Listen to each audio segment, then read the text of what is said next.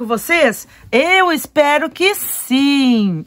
Hoje eu trouxe aqui um centro de mesa bem facinho, todo na cor cru, que é uma cor que combina com tudo, né? Então ele ficou bem fácil de fazer, até quem é iniciante consegue fazer. E o acabamento é com franjas. Eu fiz ele bem comprido para ele cair dos dois lados da mesa. Então ele tem um metro e quarenta de comprimentos e mais 10 centímetros de franja. Então ele tem 1,50 no total. E ele tá com 40 centímetros de largura tá? Então eu espero que vocês gostem, trouxe com muito carinho para vocês. Não esqueçam de dar aquele joinha para fortalecer aqui o canal e também deixar o seu comentário e não esqueça, esqueça também de se inscrever aqui no canal e ativar o sininho para você receber todas as notificações, tá? Eu venho há um tempo lidando com problemas de saúde dos meus pais, né? Inclusive, eu perdi meu pai faz dois meses e estou com a minha mãe agora. Ficou 22 dias no hospital, acabou de sair essa semana e está bem difícil, tá? Ela está com Alzheimer e a gente tem que cuidar dela, né? Então, eu peço a, a, compreensão de vocês, porque eu não estou conseguindo colocar vídeos muito seguido. Mas eu peço que vocês não me abandonem. Continue curtindo meus vídeos, se inscrevendo aqui no canal e ativando o sininho para todos os vídeos que eu postar, que assim vai me ajudar muito aqui no canal. Fico muito agradecida, tá? Vamos para aula? Bora começar? Então vem comigo! Esse centro de mesa, ele tem um metro e 40 de comprimento, 40 centímetros de largura e 10 centímetros de franja, tá? Mas o comprimento você pode fazer ah, o tamanho que você quiser e a largura também, tá? Então, nós vamos fazer uma correntinha de 40 centímetros, múltiplos de 6. Para isso, eu vou utilizar o fio da Euro Roma número 6, na cor cru. Esse novelão aqui, ele tem 1,8 kg. Mas, claro, não vai tudo, tá? É que eu já tenho esse novelo grande. Depois eu peso para ver quanto que foi de fio. Vamos utilizar a agulha 13,5. Vamos precisar de tesoura e fita métrica. Eu vou fazer aqui uma amostra menor para ficar mais fácil a visualização, tá? Que eu não tenho espaço aqui para gravar peça muito grande. Então, nós vamos fazer aqui um cordão de correntinhas de 40 centímetros. Mas vamos contar seis em seis, tá?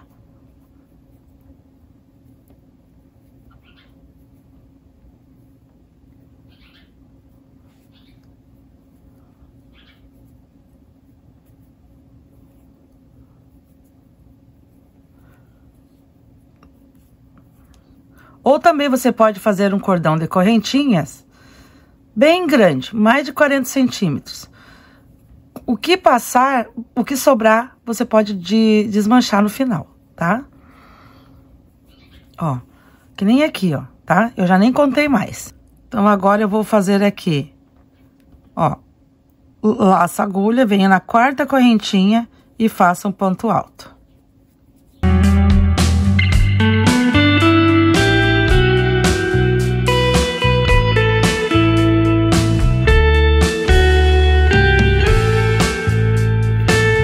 Então, agora eu fiz a primeira carreira de pontos altos, eu vou contar para ver se tá seis, seis em seis, tá? Dois, quatro, seis. Dois, quatro, seis. Dois, quatro, seis. Dois, quatro, seis. Dois, quatro, seis. Vou desmanchar duas. Vai ficar sobrando aqui, ó. Vamos virar e vou fazer aqui outra carreira de pontos altos.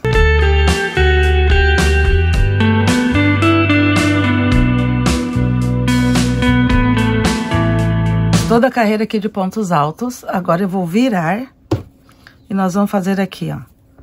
Um ponto alto, três correntinhas que vai valer o nosso ponto alto, tá? E mais duas correntinhas para virar.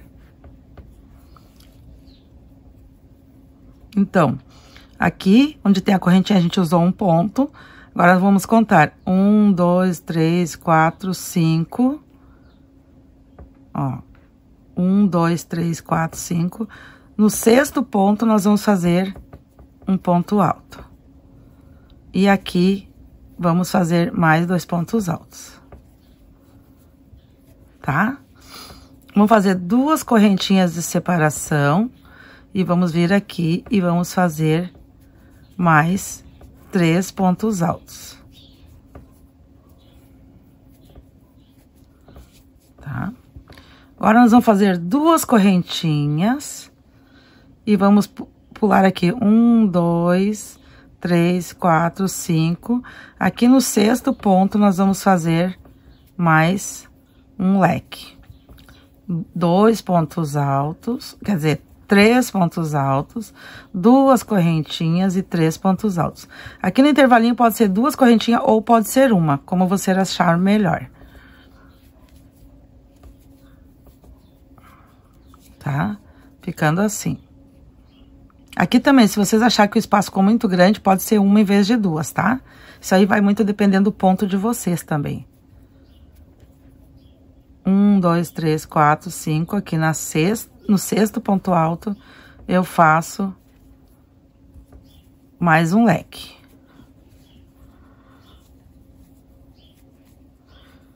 Três pontos altos, três, duas correntinhas e mais três pontos altos. Esse é a formação do leque, tá? Duas correntinhas uma, duas, três, quatro, cinco. Um, dois, três, quatro, cinco, seis. Faço de novo.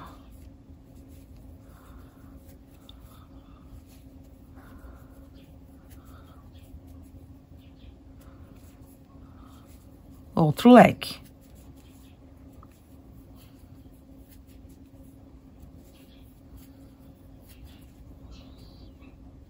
duas correntinhas. Aqui no último ponto, eu faço um ponto alto, tá? Então, ficou desta forma, tá? Desta forma. Agora é só ir subindo, fazendo as carreiras, até completar o comprimento que vocês querem, tá? Então, aqui agora nós vamos fazer assim, ó. Três correntinhas para ser o nosso primeiro ponto e mais duas correntinhas de separação. Então, dá cinco. Aqui nesse espacinho, a gente vai fazer aqui três pontos altos. É bem fácil esse ponto, bem iniciante, tá? Duas correntinhas e mais três pontos altos. Depois, no final, vou ensinar vocês como é que eu fiz as franjinhas, tá? Ó, vem aqui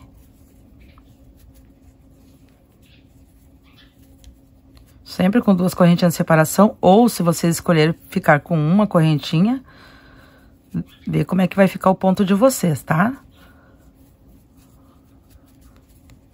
Tem que, ficar, de, tem que fazer algumas carreiras e verificar que tá ficando retinho. Que nem aqui, ó. Aqui, ó, tá retinho, ó. Tá? Tá retinho aqui as duas laterais. Vem, ó, duas correntinhas vem aqui dentro.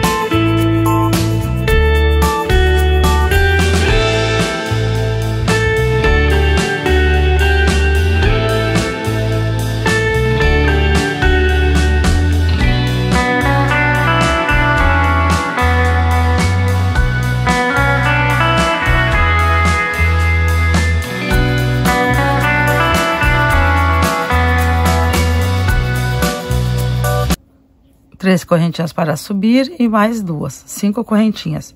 E a gente vem aqui novamente, ó. Vocês viram que esse ponto é de repetição, tá? Eu terminei uma a, a carreira e agora estou fazendo a próxima, ó. ó. de repetição. Tá ficando retinho. Agora ainda tá no início, a gente não consegue perceber bem, tá? E assim vocês vão fazendo, ó. Seguindo esse padrão, tá? Eu vou terminar mais essa carreira pra vocês verem como é que ficou.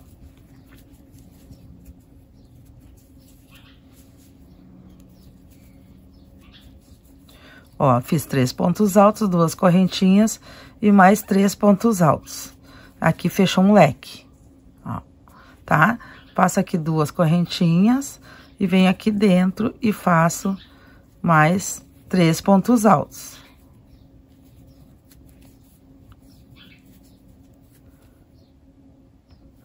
Duas correntinhas, venho aqui, mais três pontos altos.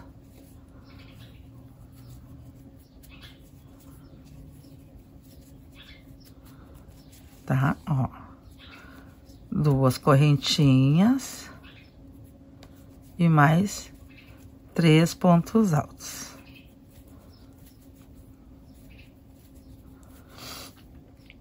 Três pontos altos, duas correntinhas e três pontos altos para completar o leque. É quase que como fosse assim, ó, duas correntinhas, três pontos altos, duas correntinhas, três pontos altos, tá? Ó, duas correntinhas, mais três pontos altos aqui dentro do leque. Essa minha mesa tá muito larga, a câmera fica longe.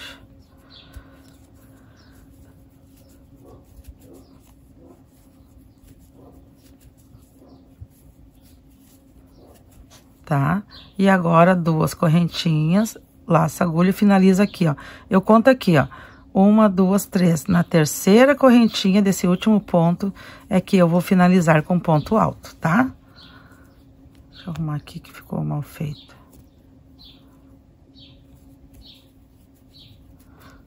Tá? E aqui vai finalizar.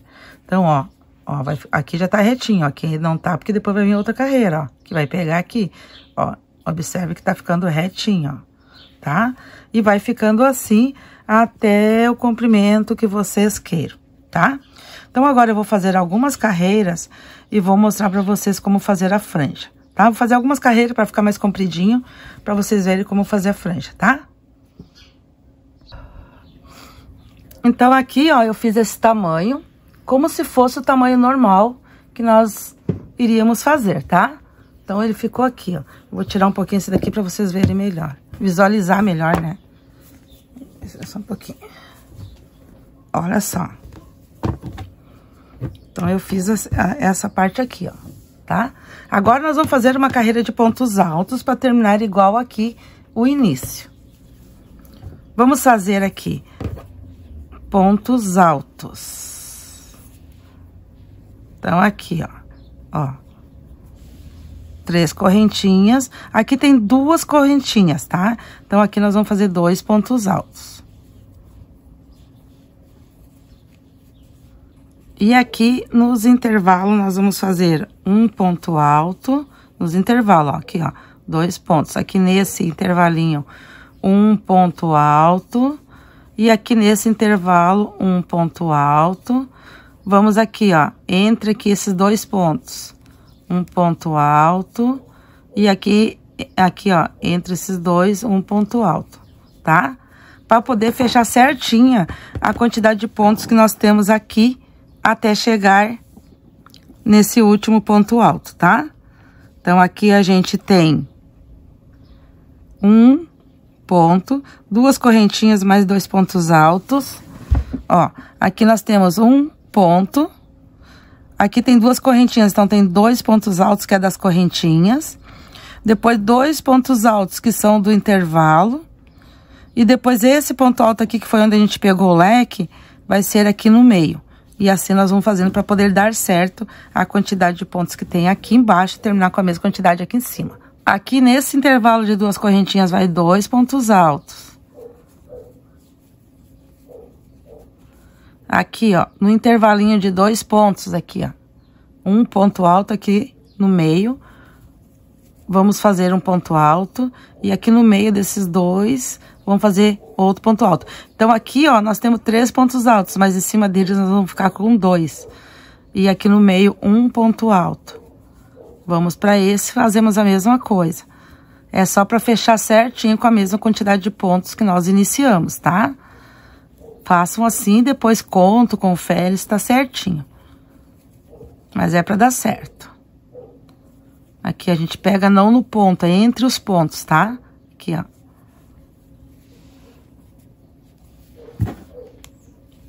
No intervalo aqui um ponto alto. E aqui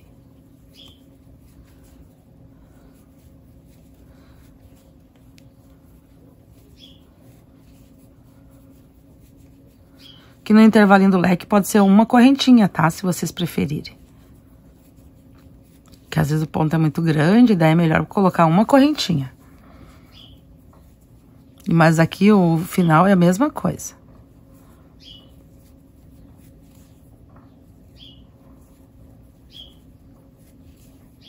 Ó, aqui tem dois pontos altos.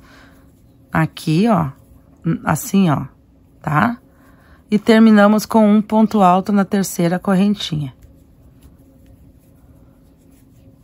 Daí ficou assim, ó, tá? E agora nós vamos virar a carreira vamos fazer mais uma carreira de pontos altos, que a gente terminou com duas. Vamos fazer aqui, ó, ó. Um ponto alto para cada ponto agora, tá? Agora é um ponto alto para cada ponto. Eu vou fazer essa carreira de pontos altos e já retorno. Então, aqui, ó, terminei a carreira, tá? Então, agora nós vamos... Podemos cortar aqui o fio para não começar com a franja do lado avesso. Mas também tanto faz porque ela se enrola, né? Então, se quiser, pode começar a franjinha assim mesmo. Ou então, faça uma carreira de pontos baixos e depois começa sem cortar o fio, né? E depois aqui nós fazemos as franjas. Então, aqui terminei a carreira de pontos altos, tá? Então, agora, nós vamos fazer assim, ó. Nesse, nesse centro de mesa, tá? Eu fiz 40 correntinhas, tá? Porque o tamanho dele é grande, então fica legal uma franja grande, ó. Ó, tá? Mas, aqui, como é uma amostra e é menorzinho, eu vou mostrar pra vocês. Vamos supor que é 40 correntinhas, tá? Vamos fazer aqui uma quantidade de correntinhas.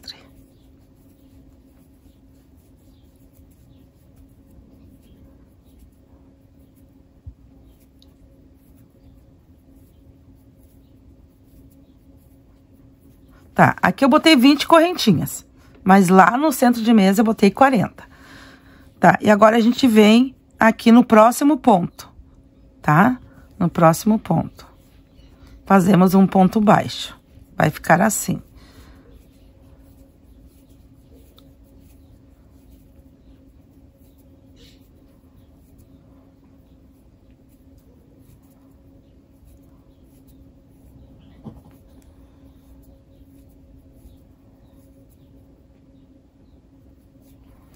Ó, vem no próximo ponto, tá? E, assim, e um ponto baixo. Então, assim, a gente vai fazendo as franjas, ó, tá? Ó, aqui, 40, 20 correntinhas deu um certo tamanho aqui, né? Na minha, deu 10 centímetros, 40 uh, correntinhas, tá? Deu 10 centímetros de franja entendeu? Então, vocês também façam a franja conforme o tamanho que vocês querem, acham bonito ou gostam mais, tá? Aqui eu fiz com 20. Vamos fazer de novo, ó. 20 correntinhas.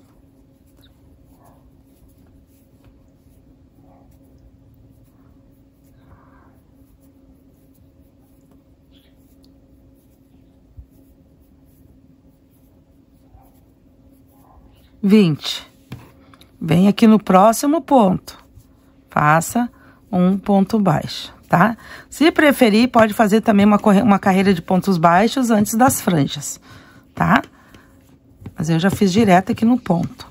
Ó, vamos fazendo aqui desde o início e vamos fazendo todas as franjinhas e vão ficando assim, tá? Então, esse modelinho aqui é o mesmo que eu fiz aqui, só que aqui em tamanho maior, tá? Ó, Vou mostrar pra vocês. Olha o lado, ó. A lateralzinha retinha. E a outra lateral retinha, ó, tá? aqui as franjas. Elas ficam bem legal, bem amontoadinhas, tá?